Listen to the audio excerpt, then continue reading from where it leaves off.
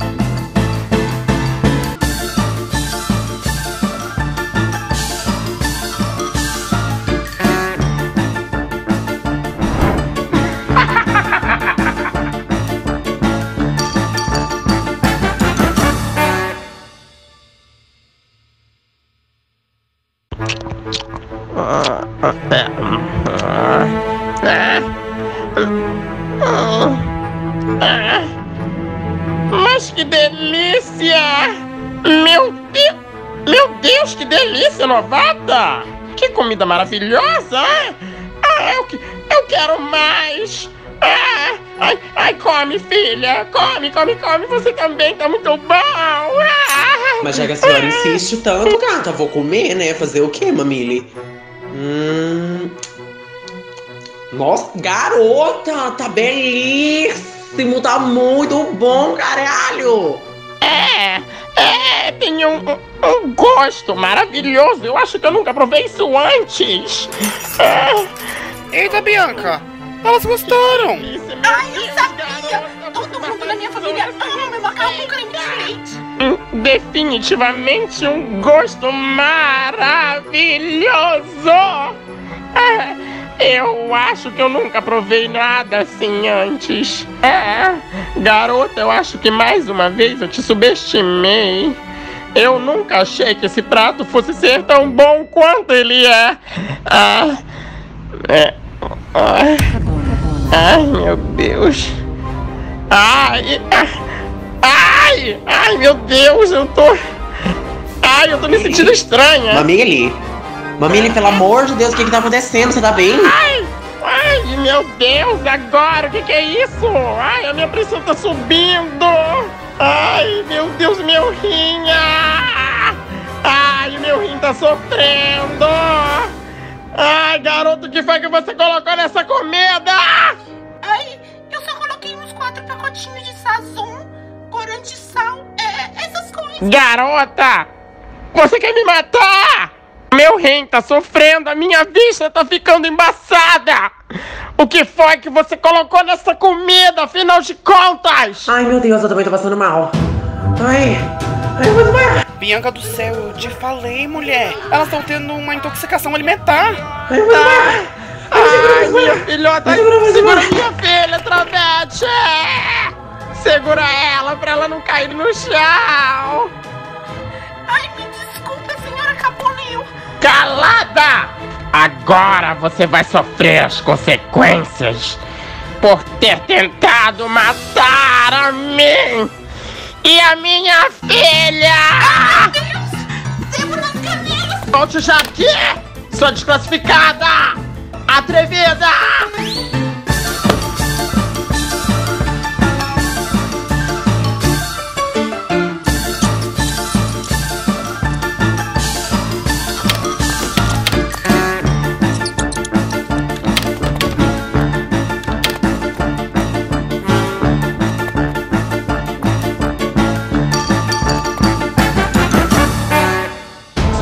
Sua insubordinada!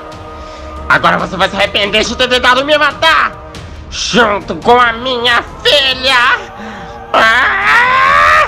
Nunca mais você vai se atrever a fugir assim de mim!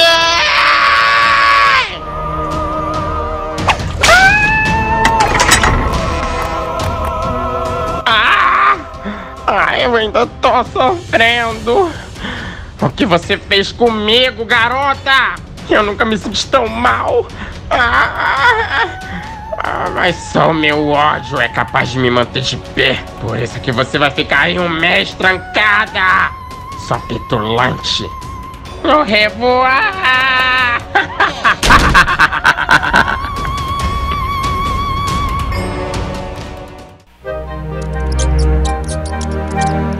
Mas como a Bianca é burra, meu Deus! Ela encheu aquela comida de sódio puro e jurou que a Cabona iria adorar. A Cabona é granfina, ela só come comida de qualidade com sódio controlado. Aquele corpo cheio de maldade dela nunca ingeriu tanto sal e corante na vida dela até hoje. E agora ela tá lá naquele quarto escuro. Tu acha que eu devo ir lá roer aquela corda de novo? Claro que não! Ela não tem saída. Se fugir mais uma vez daquele quarto, a Cabona vai poder escolher entre acabar com a vida dela ou colocá-la na prisão. Independente de qualquer coisa, a Bianca, assim como eu, tem uma dívida muito grande com a Cabona. E isso nos prende aqui. Ai, a gente tem que fazer alguma coisa pra ajudar ela. Ah, já sei! Eu vou mexer aqui nas coisas dela pra ver se tem alguma coisa de algum contato de alguma pessoa que já ajudou ela ou que já viveu com ela, pra poder ver se ela consegue pagar essa dívida. Ela me contou de uma tal de ex-patroa dela que é muito rica e generosa. Espera aí, espera aí, deixa eu ver se eu encontro. Sim, é mesmo, mulher. Procura aí. Ah, não tô achando nada. Hum? O que é isso aqui? Vai, boy, fala logo o que tu achou. Livro didático de alemão. Hum? Como assim? A Bianca fala alemão. E fala. Eu que sou uma rata sei falar português. Por que, que ela não falaria alemão? Oxe, sua rata ignorante. Alemão não é fácil. Muito menos comum aqui onde a gente vive, não, querida. Mas que esquisito. Ah, enfim, não achei nada. Ah, meu Deus, coitada da Bianca.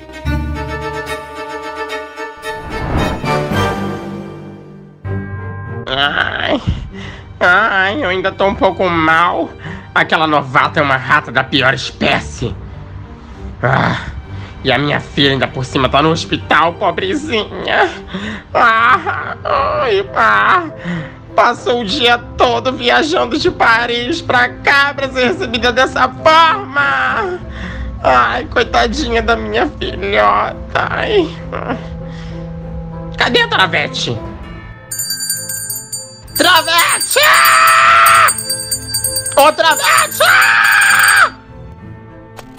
Sim, meritíssima querida senhora Cabona. Olha aqui, garota!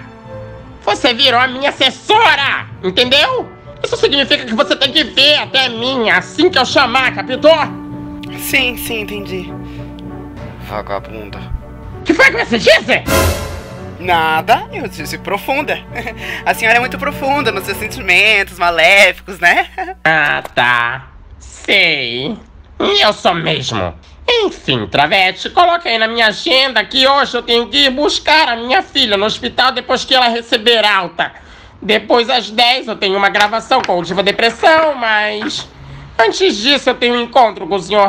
Schmitz. Ele, antes que você me pergunte, porque eu sei que você pensou, é um detetive muito bom que está vindo da Alemanha para São Paulo para me ajudar a descobrir todos os poderes da oposição. ah, eu fiquei sabendo que muitos deles têm contas indevidas na Suíça. E só o Herr Schmitz é capaz de descobrir isto para mim e me trazer provas contra os meus oponentes políticos. Ele é especialista em achar essas contas secretas na Suíça que, porventura, eu também tenho uma. é, é, mas a minha ele não vai investigar, é claro. Nossa, que malvada você é, Cabona. Sim, eu sou mesmo malvadíssima. É aí que fique de alerta pra você, garota. Você quem vai ter que me ajudar com os meus planos.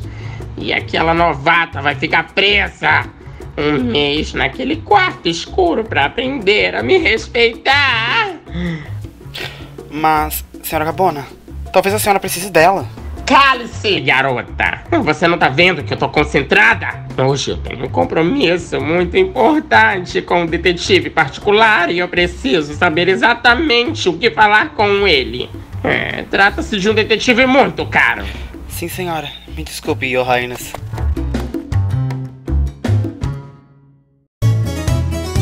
Mas meu Deus do céu, eu tô tão nervosa que a Bianca tá presa no quarto escuro porque eu preciso comer um queijo pra ver se eu me acalmo.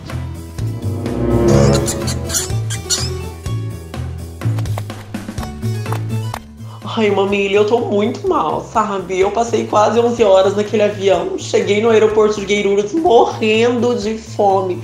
Eu achei que ia ter um banquete belíssimo à minha espera aqui em casa. Quando chega uma desqualificada, uma empregadinha qualquer, que se acha a dona do mundo, me entrega um macarrão com creme de leite, mais conhecido como Hiroshima Nagasaki, cheio de proteínas de sódio cálcio, qualquer coisa só da cáustica, e tenta me matar. Agora eu não tô conseguindo andar direito. Minhas pernas estão tudo bamba, tudo frouxa. Ai, filha, ai, filhota. Ai, não, não, não se preocupe. Aquela desclassificada já tá pagando pelo que ela te fez. Ai, eu tranquei ela no quarto escuro, pior de todos. Ai, ela vai passar um mês lá dentro comendo pão duro por dia com um copo de suco de laranja. Porque é, suco de laranja aumenta a fome, mas ainda ela vai sofrer as consequências. Não é o suficiente. Eu quero que ela sofra mais, Mamile. Ela quase me matou. Ela vai comer o pão que o diabo amassou. Ai, ai, filhinha, então pode deixar, eu vou pensar em outras maldades pra fazer com ela. Isso não vai ficar assim, pode ficar tranquila. Assim espero, Mamile. Assim espero. Agora vamos, filhinha. Ai, vamos, vamos, vamos, que eu vou te levar pra varanda pra você pegar um ar. Ah. Ah, meu Deus, aquela rapariga quer matar a Bianca, mas ela não vai conseguir. Eu tenho que fazer essa palavra através de gente precisa fazer uma coisa urgente.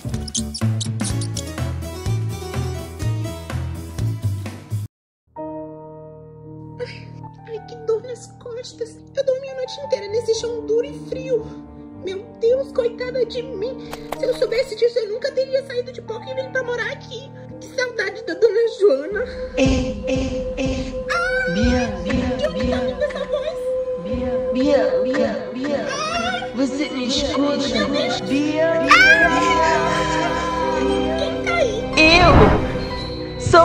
Karina! Bianca, não tenha medo. Meu Deus! Meu Deus! Bianca, se acalme, eu vim em paz. Você poderia ir embora em paz também se quisesse. Não tem problema não. Bianca, por favor, me escute. Eu não tenho muito tempo. Ai, fale logo. Eu tô com muito medo. Bianca, você não tem por que ter medo. Eu vim pra te ajudar. Me, me ajudar? Sim, Bianca. Você precisa ser forte. Você precisa ser esperta. A, a Cabona é muito poderosa. Infelizmente, você não vai conseguir vencer ela medindo forças. Mas eu não quero medir forças com ninguém. Eu só quero sair daqui. Bianca, não desista. Logo, logo você vai sair daqui. Mas antes disso, você precisa me ouvir.